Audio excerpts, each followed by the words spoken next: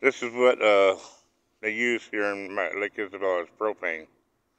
Not everybody has their own tanks. This is for the shopping center here. We're behind the shopping center, see? Okay, I gotta get home now.